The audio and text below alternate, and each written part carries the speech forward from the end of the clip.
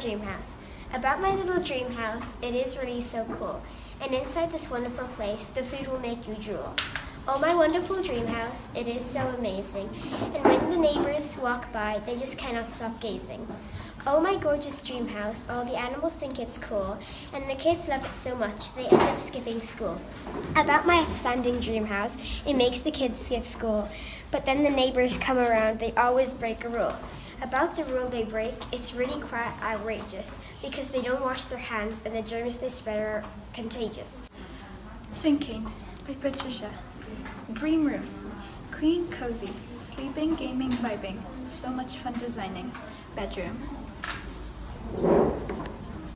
An acrostic poem by Ava. Bedroom. B. Bringing you to a room of joy. E. Entering a new world.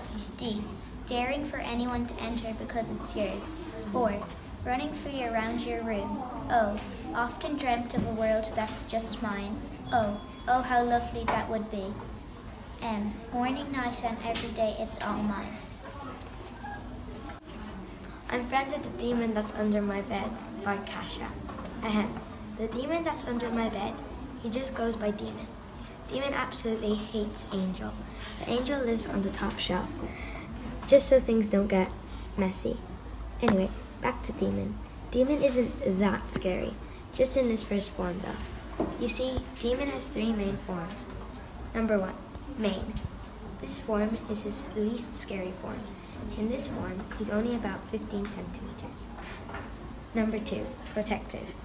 This is, this is the form he uses to protect. In this form, he is about three feet.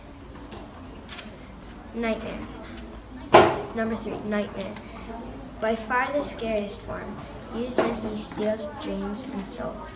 He is about over 20 feet. Demon's box of screams. This is where Demon stores children's hopes, dreams, and screams. So, in the end, Demon is a very strange creature indeed. But, if you trust him, you will form a bond that no force can break. Otherwise, stay away at all costs.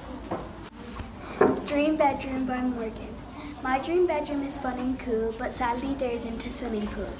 It's my Hufflepuff room for when I'm in Hogwarts.